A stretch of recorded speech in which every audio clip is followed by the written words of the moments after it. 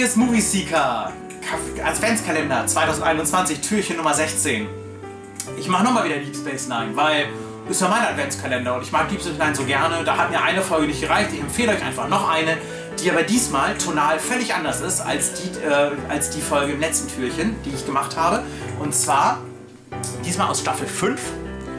Ich habe sie immer noch nicht aus dem Regal geflöht, aber Mrs. Movie Seeker ist so nett und holt sie mal kurz ein bisschen näher. Vielen Dank. Es geht um Staffel 5 und die Episode heißt im Deutschen im fahlen Mondlicht, was eine gute Übersetzung ist, denn im heißt sie In the Pale Moonlight. Und äh, die Folge. Rapture wolltest du doch.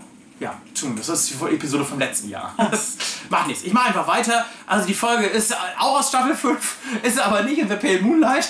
Wenn ihr die sehen wollt, schaut euch äh, irgendein Türchen aus dem letzten Adventskalender an. Müsst ihr ein bisschen gucken. Ich weiß gar nicht mal aus dem Kopf, welche das war. Äh, oder gleich die Folge. Ja, oder gleich die Folge. Die Folge ist großartig in The Pale Moonlight. Ich möchte aber eine andere Folge empfehlen, die ich nicht minder gelungen finde die aber thematisch ganz woanders ist. Die heißt Rapture, auf Deutsch Verzückung. Äh, ist tatsächlich auch, finde ich, ganz gut übersetzt.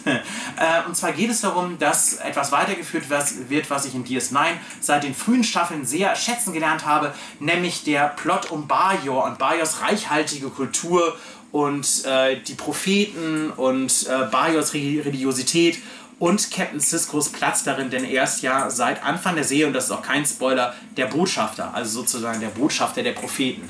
Zudem haben die Bajoraner ihn erklärt, nachdem er mit den ähm, Aliens, Schrägstrich Propheten, die im Wurmloch bei DS9 leben, äh, ein Zusammentreffen hatte. Ja, und nun geht es in Rapture nach mehreren äh, Folgen Pause endlich mal wieder um den Bajor-Plot, denn Captain Cisco hat äh, komische Träume und entdeckt tatsächlich aufgrund dieser Träume ähm, in, äh, im Untergrund von Bajor die Ruinen einer alten Stadt namens Bahala, die er archäologisch mäßig ausgräbt und deren Geheimnisse er ergründen will. Und das hängt zusammen auf ziemlich coole Art mit einem Plot, in dem es darum geht, dass Bajor ja seit Staffel 1 in die Föderation aufgenommen werden soll.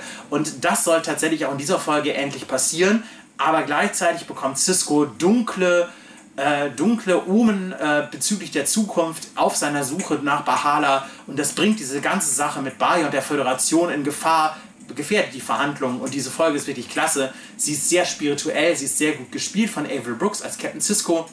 Und es gibt sehr viele coole Referenzen an die Kultur von Bajor und äh, das Verhältnis Bajor-Föderation wird auch schön ausgeleuchtet.